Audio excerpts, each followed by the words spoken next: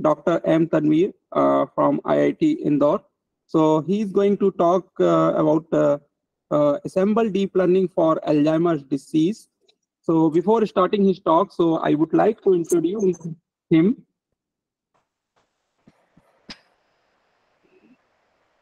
So uh, Tanveer uh, is a associate professor at the Department of Mathematics of the Indian Institute of Technology Indore. Prior to that, he worked as a postdoctoral research fellow at the Rolls-Royce uh, NTU uh, corporate lab of the NTU Singapore. He received his PhD degree in computer science uh, from the Jawaharlal Nehru University, New Delhi, India. His research interest includes support vector machine, optimization, machine learning, deep learning, applications to Alzheimer's disease, and uh, dementia. He has published over 130 referred journal papers of international report. Uh, his publications have over uh, 5100 uh, citation with H index 36.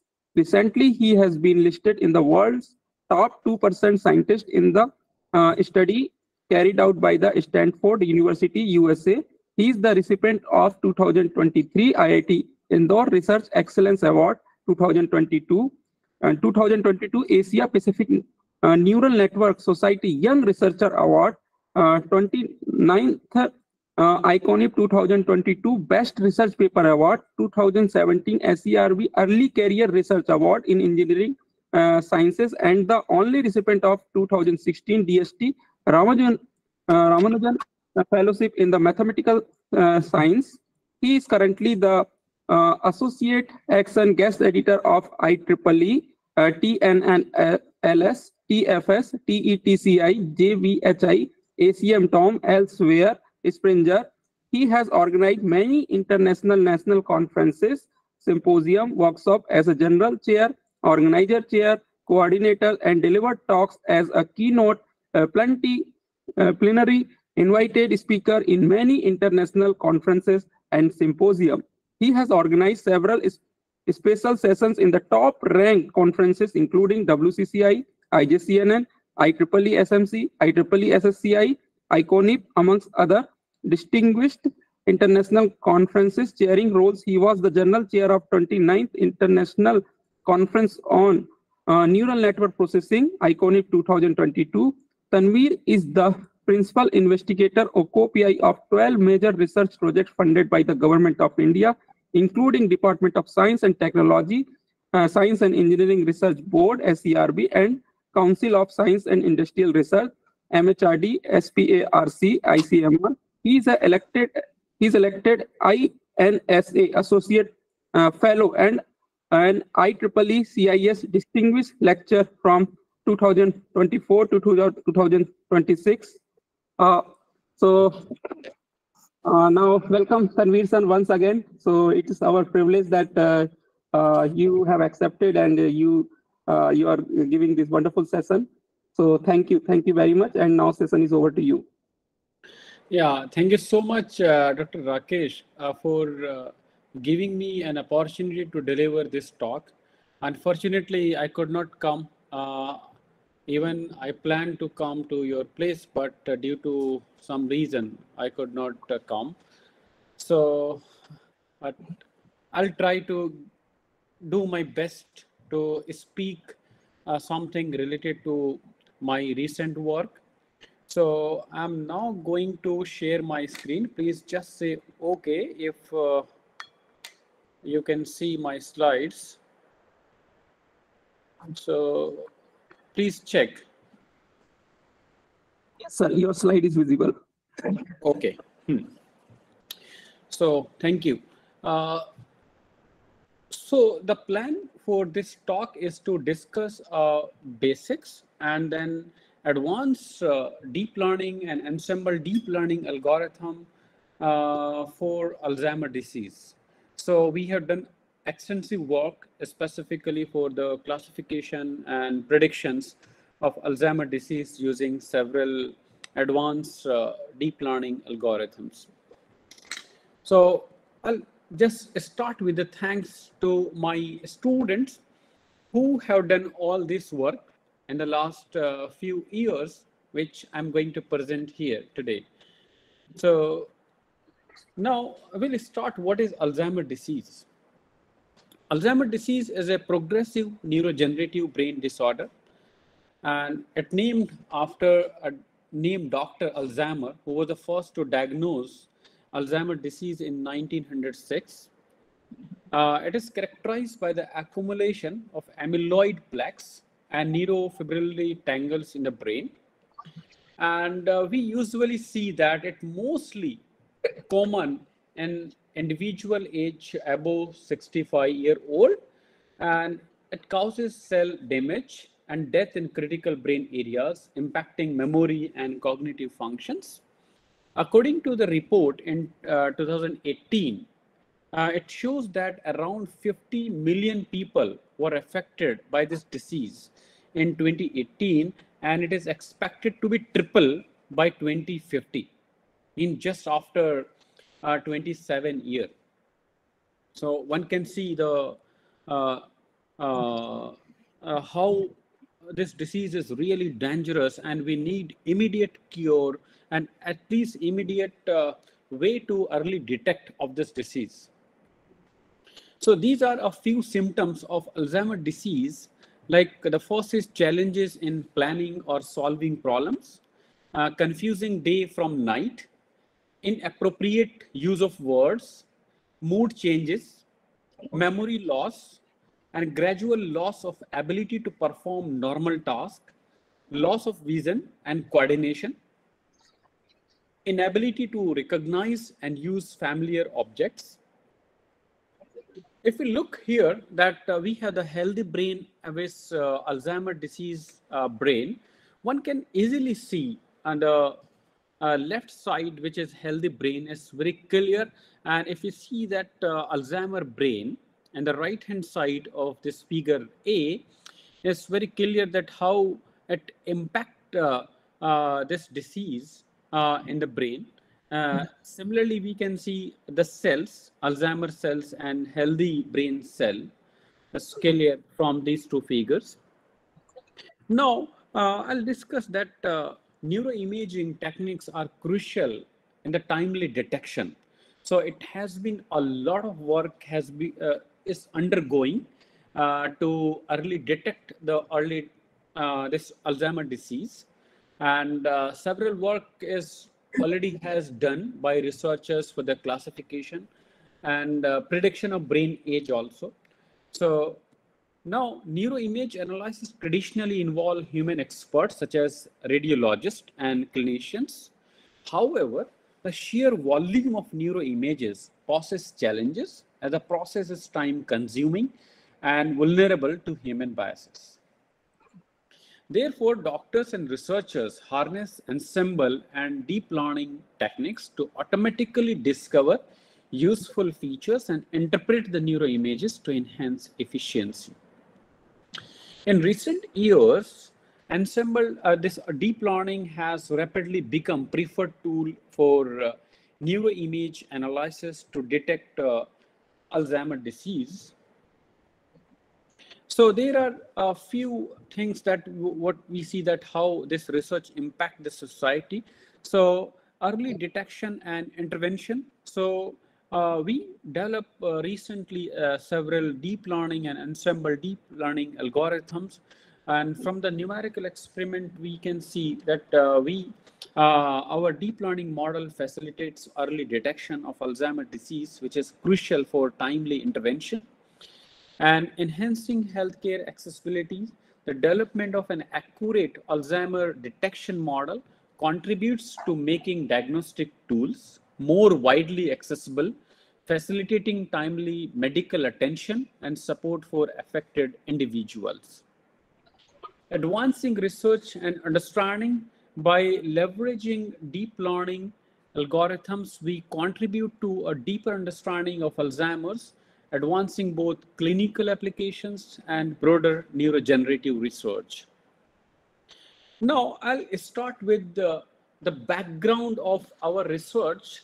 So, uh, this figure uh, is based on the ensemble deep learning. So, this is the first comprehensive review paper in the literature on ensemble deep learning.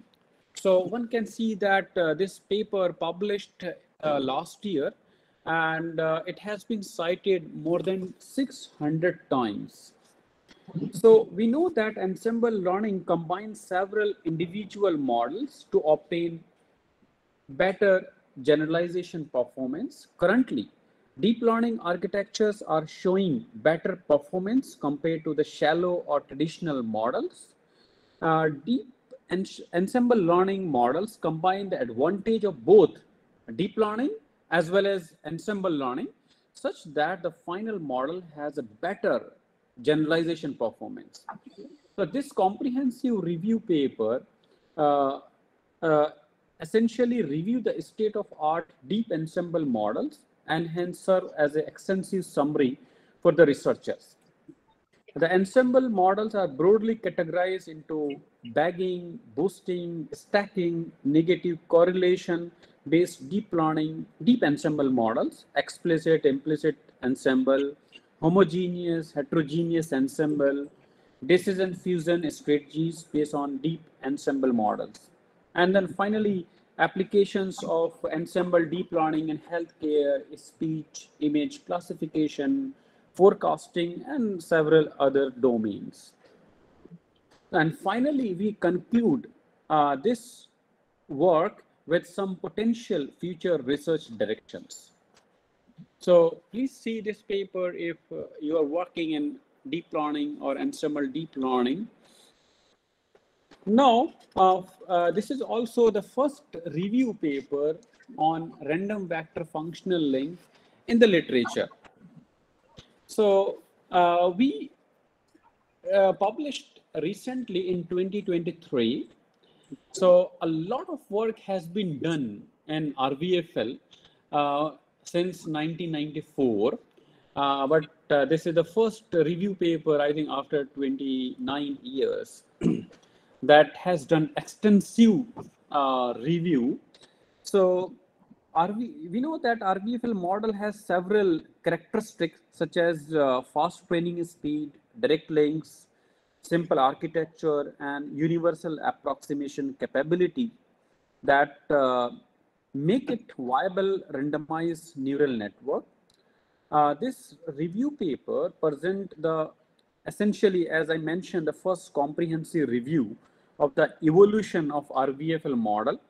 Uh, and uh, it can serve as an extensive uh, uh, summary for the beginners as well as even advanced researchers. Here we discuss the shallow RVFL, ensemble RVFL, and a deep RVFL and ensemble deep RVFL models. And the variations, improvements, and applications of RVFL models have been discussed here. So further, we discuss the different parameter optimization techniques followed in the literature to improve the generalization performance of the RVFL model. And uh, finally, we present potential future research directions that can inspire the researchers to improve the RVFL architecture and learning algorithm further.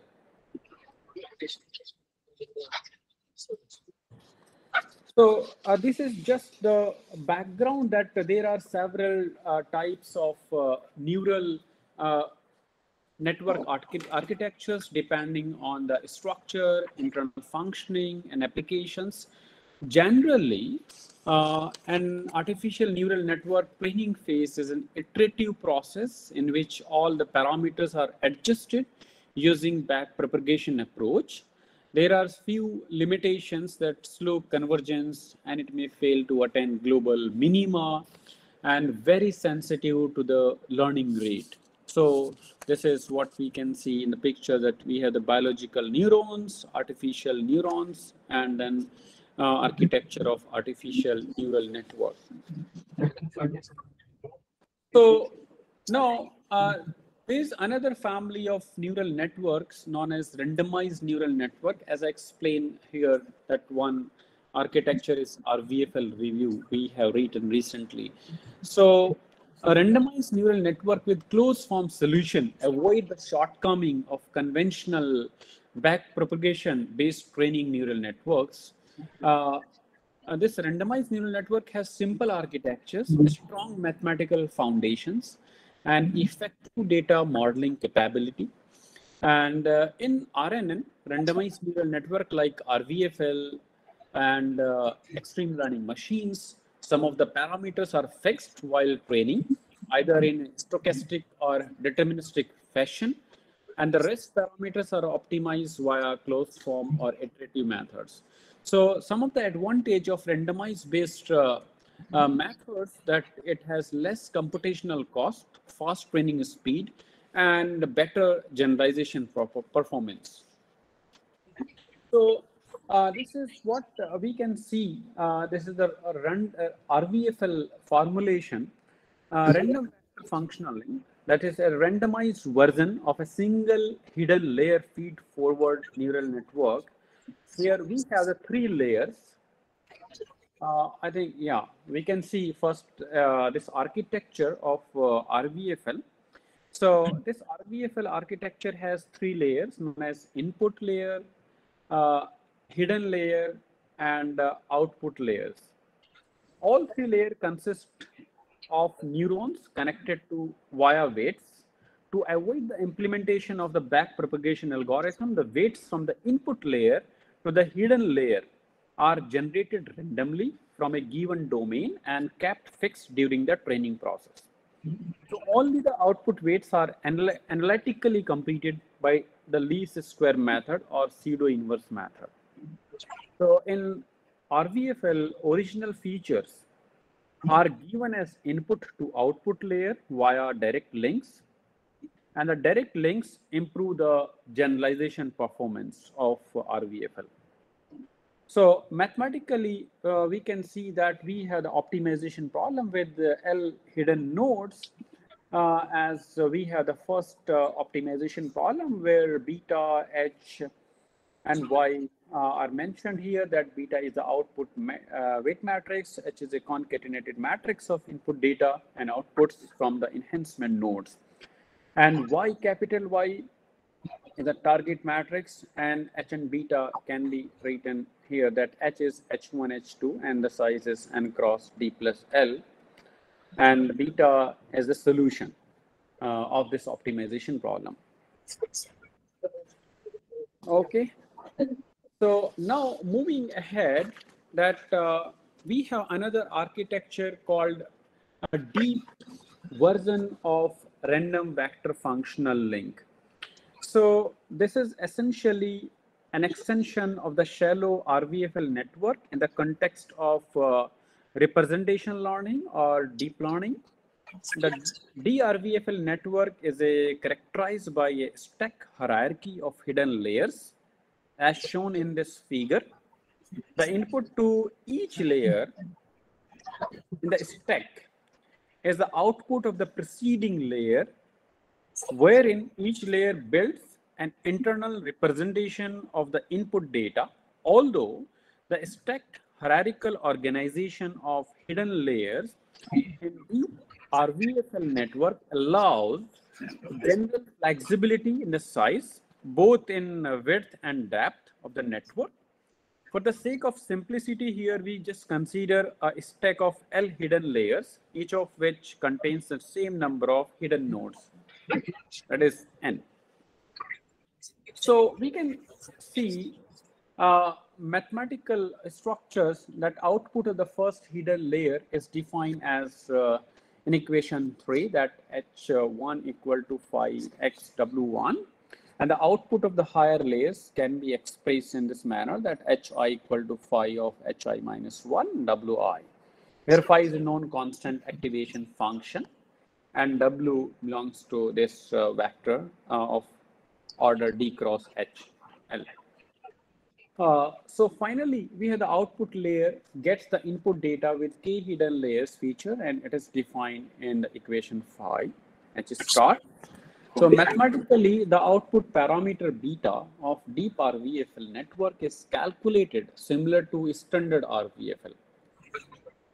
Now, now we further move uh, to the Ensemble Deep RVFL network.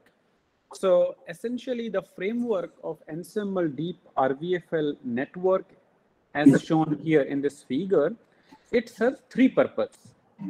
So the first is instead of using only the higher level representation feature extracted from the final hidden layer of the data, as in conventional deep learning model for classification, it employs rich intermediate features also for final decision making.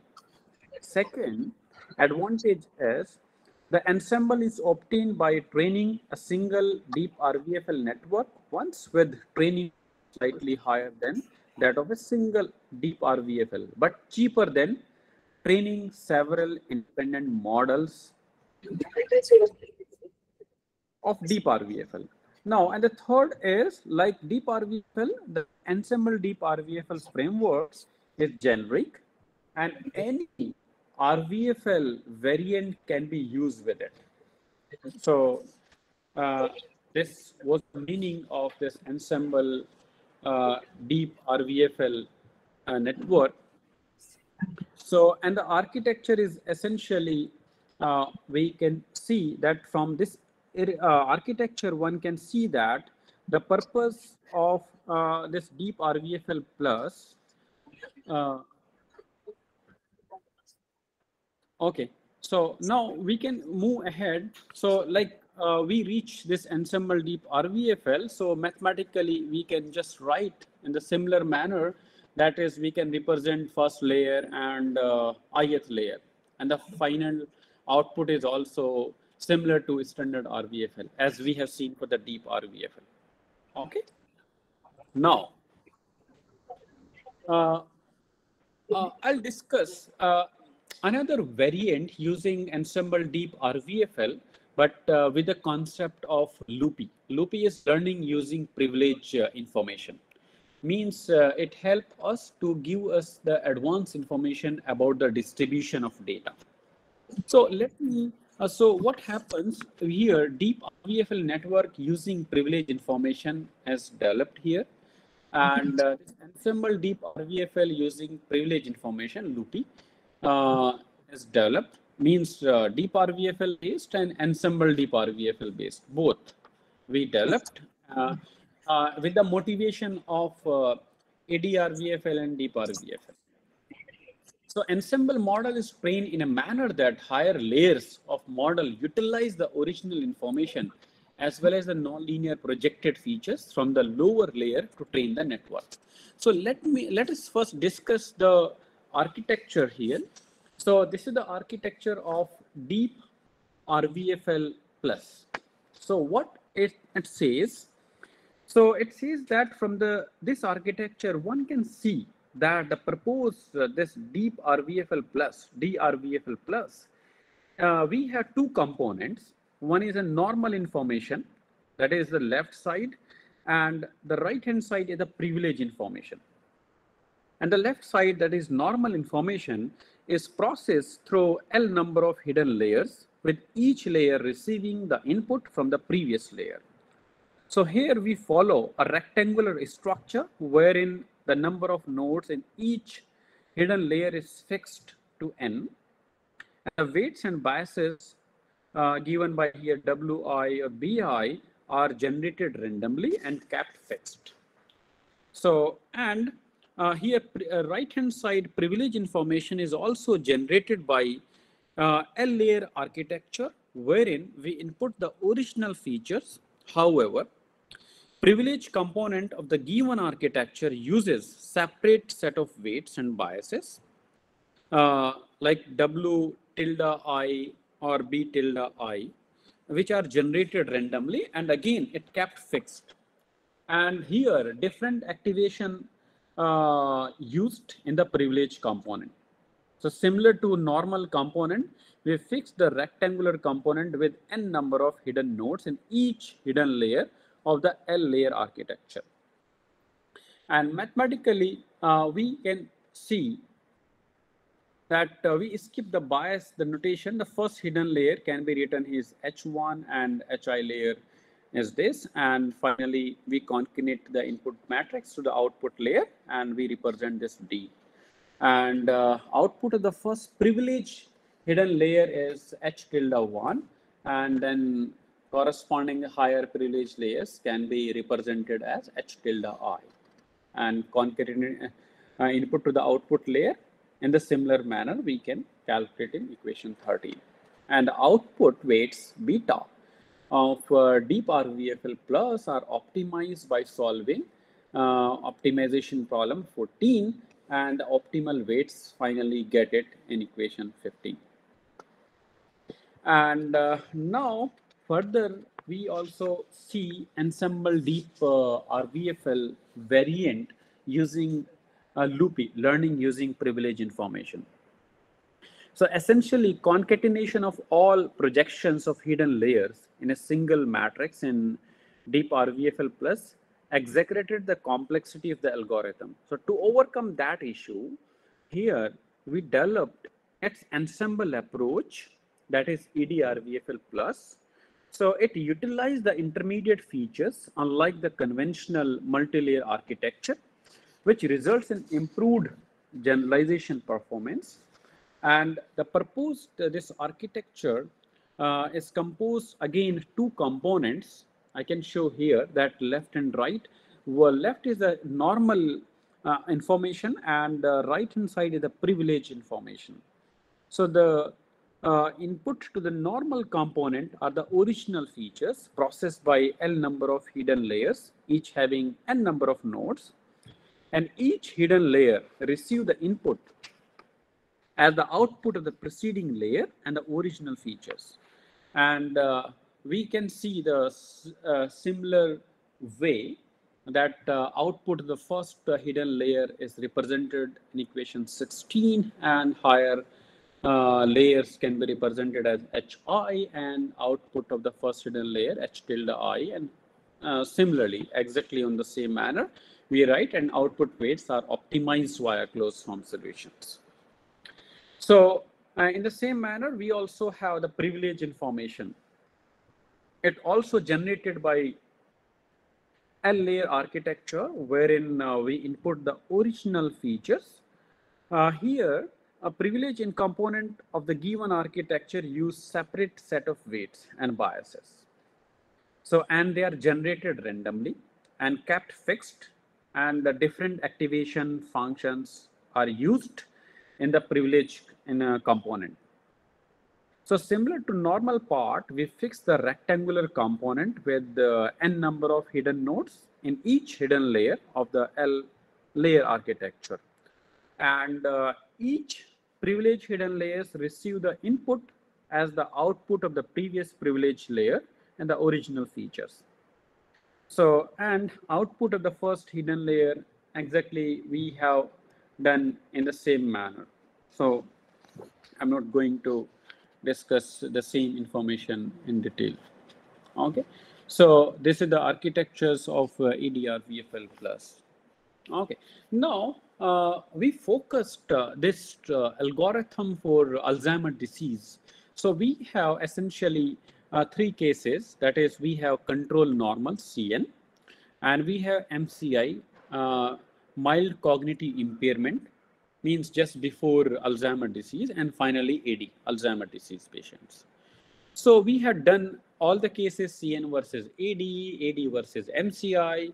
So we have uh, and we have considered different activation functions, and we have taken different variants of uh, RVFL, like RVFL, deep RVFL, EDRVFL, and uh, it's all privilege information uh, variant like RVFL plus, deep RVFL plus, and EDRVFL plus.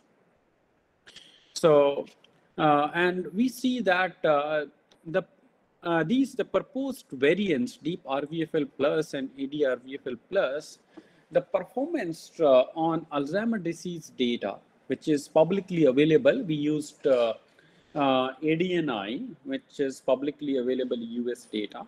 So we see that uh, the performance is really very good. Even if we see the results here, CN versus MCI.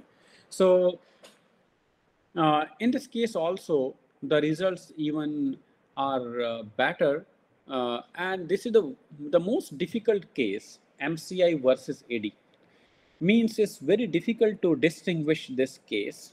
So, but we can see that uh, the performance is really promising here. Means you can see that this is uh, AUC is like 59%, but our purpose is going to be 65% or 64%. It's too high. Means uh, so one can just use it uh, for data. So this algorithm works very well. so and uh, I think I have mentioned that uh, this work is already published uh, uh, here. Yes, last year in IEEE or ACM transactions on computational biology and bioinformatics. So more details are available there. So please uh, just use this paper for more information. Okay. So if you have any questions, I'm happy to answer. Otherwise, I'm discussing now another uh, component of uh, my talk is graph uh, embedded ensemble uh, deep randomized network for diagnosis of Alzheimer's disease.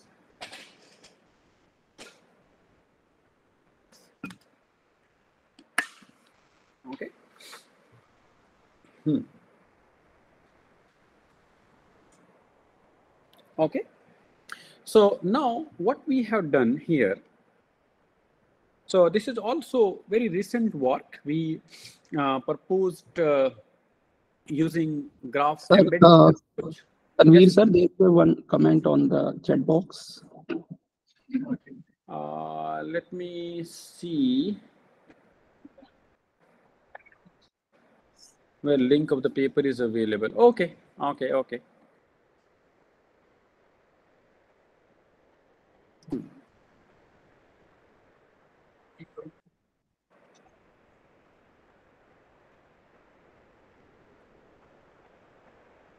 Okay, sir.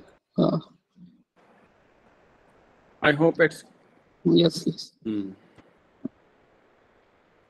Hmm. So now I'll discuss uh, uh, graph embedded approach with Ensemble Deep RVFL and uh, applications to Alzheimer's disease. So essentially, a randomized shallow or deep neural network with closed form solution avoid the shortcoming that uh, exists in back propagation based training neural networks. And Ensemble Deep RVFL, as discussed today, uh, it utilizes the strength of two growing fields, that is deep learning and ensemble learning. So, however, what we see that ensemble deep RVFL model doesn't consider the geometric relationship of the data while calculating the final output parameters corresponding to each layer considered as base model. So in the literature, graph embedded frameworks have been successfully used to describe the geometric relationship within data so here, our idea is to develop an extended graph embedded uh, RVFL model that unlike uh, standard RVFL uh, that employ both intrinsic and penalty subspace learning criteria under the graph embedded framework in its optimization process to calculate the uh, model output parameters. So, and uh, this algorithm essentially only single hidden layer and less representation learning. And further, we also develop its deep variants. So further, we also develop an ensemble deep variants of uh, the same work, and that can be considered as a variant of ensemble deep RVFL model. So, but unlike uh, ensemble deep RVFL, uh, our idea solve graph embedded based optimization problem in each layer and hence better performance than the baseline ADR VFL. And then we develop, uh, we had done a lot of experiment specifically for uh, uh, on Alzheimer's disease neuroimaging initiative data, ADNI data. And uh, our experiment shows uh, the better performance. So now let's see first how uh, the algorithm is, and then we'll discuss. so here, uh, the standard RVFL doesn't consider, as I mentioned, the geometric aspects of the data while optimizing the output. Hence, uh, lower performance. So the optimization problem of the proposed one, this is the shallow uh, proposed one as defined in equation 20. So here the first term represent the empirical error and second term represent the graph regularization term. And the last term it shows the regularization term. And the both regularization parameter lambda and mu it handle the impact of these two regularization terms. So more details are available in this paper. So one can refer uh, for more details okay. And the final solution can be written in equation 21 so after calculating this uh, matrix beta weight matrix so output of graph embedded rvfl for a new sample is taken similar to uh, standard rvfl so uh, if you look at the theory of graph embedded so in graph embedding framework there is an undirected weighted graph that is uh, x comma sigma. This where their input and similarity matrix, and each element in a matrix, this uh, symbol sigma represent the relationship between two graph vertices. Moreover, another penalty GP. Uh, so here each element of the weight sigma p penalty weights that are given to a specific relationship between the graph vertices in X. And the optimization problem of the graph embedding is defined here in equation 22. So here what we see that uh, here some information about this are given. So essentially the solution of the problem is obtained by solving this problem 23. And the matrix S consider both intrinsic and penalty graph relationship within the data set. So this is the flow chart of uh, the shallow uh, embedded graph uh, uh RVFL approach that we have the original feature space X and we just extend the feature space and we have the randomized feature space. We concatenate and calculate the matrix S and then train it and get the output like this. And these are the numerical experiments uh, of both that is uh, the shallow network and its ensemble deep uh, network. So one can see that uh, we have considered uh, here the first one is control normal that is healthy with Alzheimer disease. And we had uh, considered different activation functions. And we have considered baseline RVFL, deep RVFL, ensemble deep RVFL. And uh, here three and four. So we denote uh, the value of the randomly selected parameter in future generation methods. And uh, then here they are, uh, means the last four column are essentially the proposed models. So, but we see that uh, what whatever we are considering different activation functions, so what we observe that uh, most of the time, the proposed approaches, the last four columns are performing well. Even if you look another another case, CN versus MCI case. So, and here also the last four column are the proposed approaches so we can see that uh, uh, while considering different uh, uh, methods, so and different activation functions, so we again see uh, the performance is quite uh, impressive. And this is, as I mentioned, it's a difficult case MCI versus AD. So, and here we can also see that this, especially this one, AGERVFL, uh, this case, and we can see it uh, shows uh, promising results, means uh, throughout. So now one can think of uh, choosing this uh, algorithm for the classification of Alzheimer disease data sets. We also have done some experiments on UCI and KEEL data sets. And uh, we can see that based on this, and we see the average rank uh, of uh, like EGER VFL. So we can see that uh, they are really good. Some of them are really good, like uh, e Ensemble Deep One are uh, performing very well when we are considering UCI and KEEL data sets. So I think uh, uh, one can just refer uh, uh these algorithms and uh, codes are publicly available. I think uh, I can check it if you're able to see my slide. So I can show that all the codes are publicly available.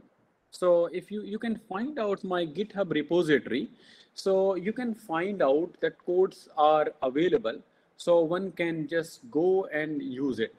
So uh, in case of any difficulty in the implementation, so we are happy to help. So uh, you can drop an email, whatever is mentioned in the README file. So usually uh, student's email ID are given who has written the code. So he will help. Okay. And now these are the future uh, possible directions specifically uh, for uh, Alzheimer disease. So a lot of scopes are there like uh, uh, significant brain region extractions and bridge age difference with cognitive decline, integration of multimodality and identification uh, novel biomarkers and adversarial perturbation and certainty estimation and ensemble deep architectures. I think I can show, I think even more better. Uh, so uh, this we have taken uh, from this paper, uh, IEEE transactions on cognitive and development uh, systems. This is especially deep learning uh, based uh, diagnosis and prognosis of Alzheimer's disease. It's also a comprehensive review. So one can see that a lot of scope are available to work on this. Now, this is another very interesting work. So this is also the first approach to uh, write a review for the brain age estimation. So, and this work has been published recently in one journal called Information Fusion in Elsevier. So, and this is just one picture. I'm mentioning uh, uh, different kind of uh, mm, possible directions here. Like uh, explainability is one of the major concern that explainability in deep learning for brain age estimation. So essentially no information about input output relationship while working in a deep variance. So explainable AI can explain the relationship that can be helpful for clinical purpose and practical adoption of the model. So now this is a hot area and many people are working on explainable AI uh, especially deep variants. So, uh, so very less work has been done. I think uh, only a few papers are there in the literature. And it will be very helpful for the doctors to take early decision if we are able to explain the information about the input and output information about the data. So that are lacking in current uh, deep variants and adversarial perturbation and uncertainty estimation. So uh, if we, uh, one can develop robust and safe deep learning network from adversarial perturbation And one can focus on uncertainty estimation for deep learning. And uh, then a deep learning architecture that specialized ensemble deep learning architectures. It can be used for improve predictions and a benchmark among deep variants uh, for brain age estimation is also in need. So which algorithm can be used for brain age? So it is also essential to do kind of comprehensive evaluation of several uh, available uh, deep algorithms. This is also another future uh, scope and integration of multimodal data that uh, brain age difference also depends on other factors like uh, iron deposition, brain connectivity, and metabolic uh, variations. And it also combined with other modalities that can provide new biomarkers. So one can work in this directions. And uh, another very important is the brain age difference with cognitive decline. This is also a uh, very important area for research that association of brain age difference to mental health means uh, a person is having uh, some brain disease and a healthy person. So and how much is the age difference with both brains? And brain region affected due to alzheimer parkinson and other different neurological disorder disease. So this really uh, challenge to work in that direction I think one of the biggest uh, issue here uh, in India to get the right data.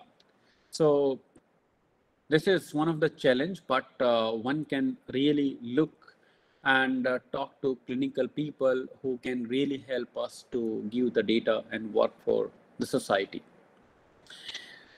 And significant brain region extraction. So we can identify specific brain regions related to age gap and uh, one can also study the effect of age group and gender on the regions affected the brain age. Okay. So my technical talk is uh, almost over. I'm happy to take a few questions and uh, I would like to invite uh, for uh, this special issue uh, on the same theme that uh, this is deep learning for healthcare. So, and it is in IEEE transactions on fuzzy systems. This is also very top journal. Uh, deadline is very close, 28th February. If uh, you have not started and you want to work, so please, we are happy to uh, welcome your submissions in this special issue. Okay, so these are a few references what we have taken and uh, now thank you so much. So I can take a few questions now. Yes. So thank you, Tanveer sir, for your excellent talk. So, uh, so can I read, sir, some questions uh, the participant have posted on the chat box? Mm -hmm. Yes. So uh, this this question is from the Sunita. So, sir, I, I have three base models trained individually on data set. I want to improve the accuracy of the model while using uh, ensembling, ensemble. So will you please explain the implementation procedure? Uh, okay. I think uh, I think it's better, uh, Sunita, if you uh, the codes are publicly available and all the informations are given for the implementation. So please go through the codes. In case of any issue so we are happy to help in the implementation. Uh, so but uh, if you go and see the readme file so you will find uh, all possible information. But again if you feel any difficulty yes please uh, drop an email to us hmm?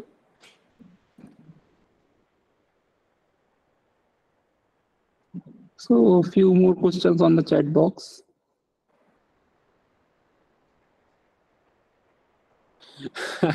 One person is writing, I emailed you, but Uh, sir, unfortunately, you are not replying. Kindly share your email. That will be your most kindness. I think my email ID is same. Please check it. I don't remember. Uh, okay, okay. My email ID is just mtanveer. Okay, mtanveer at iiti.ac.in. Uh, possibly I can show somewhere uh, I may have written my email ID. Yeah, if you are able to see, this is my email ID. mtanveer at iiti.ac.in. Okay. So, okay, next question. Is it required to retrain the model again after ensemble? I'm not sure which or what you are talking about. Uh, could you guide some resources to learn to work on AI neuroscience, both neuroscience background, techniques in neurodata processing? I think uh, my suggestion is I have explored those work in my slide. Like uh, I discussed, uh, uh, let me let me show quickly that uh, this is one very efficient work if you want to go for deep learning and neuroscience. This is one approach, very recent work, deep learning for brain age. So it's a comprehensive review, excellent review. So please go through this paper, okay? And uh, we also have another uh, review. I discussed this one. Uh, this is diagnosis and prognosis of Alzheimer's disease review. So please uh, read uh, these papers if you are really interested, especially uh, human brain disorder disease, brain age estimation, or Alzheimer's disease. So we also have done uh, write one review of Parkinson. So you're welcome to read that paper also. I'm not sure whether I can show it to you now. so difficult to find out uh, uh, yeah this one. Uh, you can see this is parkinson disease diagnosis with deep and shallow neural networks survey and comprehensive evaluation. So i have shown three work. One in uh, deep learning for alzheimer's disease one is deep learning for brain age estimation and this is Parkinson Parkinson disease for uh, uh, deep and shallow both.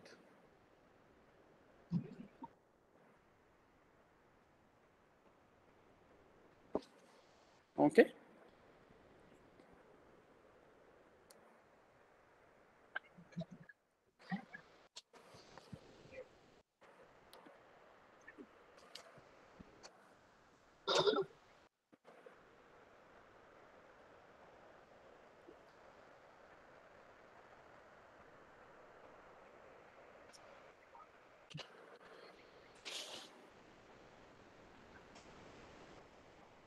So any question? So participants, if you have any questions, please ask. So Tanveer sir, I think no more questions. So thank you very much, sir, for your wonderful sessions.